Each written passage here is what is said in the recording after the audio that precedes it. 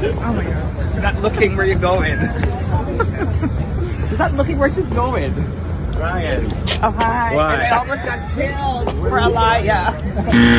There was a caption underneath this clip when I was seeing it. It says, Who's at fault or whose fault is it?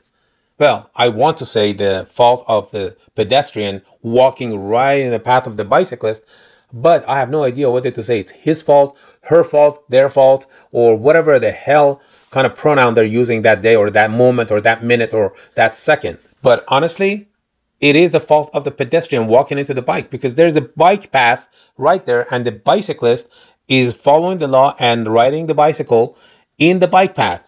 But the pedestrian, him, her, them, whatever, is so distracted by is so because because he or she or them sees a camera recording him, her, or them and is not paying attention to his or her or their surrounding and walks right into the bank that you should be watching. No, you should be taking off those stupid sunglasses and not be distracted by camera recording you so you can pay attention to your damn surrounding, idiot. and on top of it, I love how genuine the air kiss is.